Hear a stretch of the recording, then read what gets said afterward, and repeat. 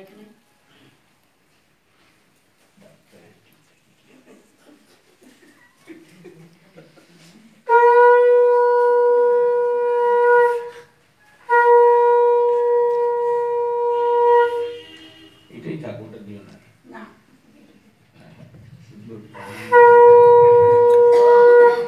বলছি এটাই থাক ওটা দিও না।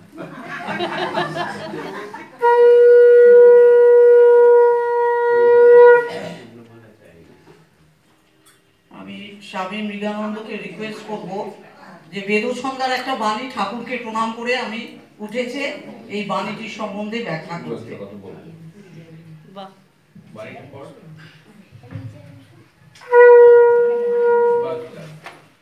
সর্বদা সতর্ক থাকতে হবে মনের মধ্যে হীন কিছু না এসে পড়ে। চতুর্দিকের অসৎ জিনিস যাতে মনের মধ্যে না ঢুকে পড়ে। মনের মধ্যে একবার অসৎ ভাব ঢুকলেই তখন কোন দিক দিয়ে যে নেমে যাচ্ছ বুঝতে দেবে না। তাই বিপদের মাঝে যাবার আগে দেহের চারিদিকে নামের গণ্ডি দিতে হয়। খিড়কি দরজা যেমন বন্ধ রাখতে হয়, তেমনি মনের হীন দিকগুলি খুলতে নাই।